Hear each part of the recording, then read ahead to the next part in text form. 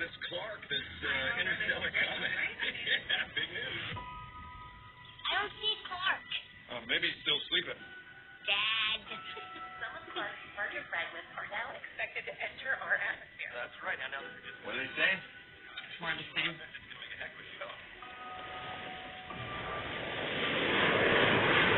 Whoa. Where are they going? I don't know. When the first tempest is about to hit. Only part of it. Still in the ocean.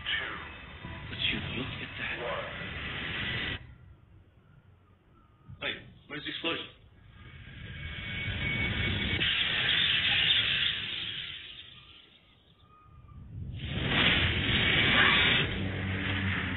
We now are getting word that the fragment has hit Central Florida.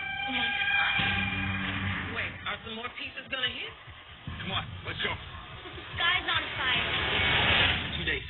They got it all wrong. There's a ton of fragments. Planet killers. Space agencies are predicting an extinction level event.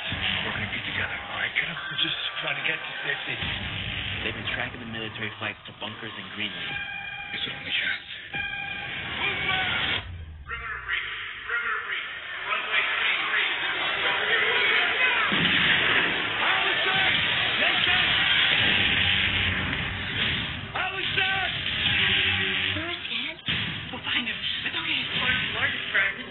less than 20 more hours.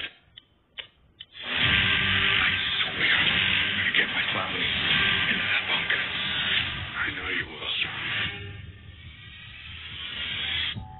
If you are hearing this broadcast, seek shelter immediately. What's going on? If you are hearing this broadcast,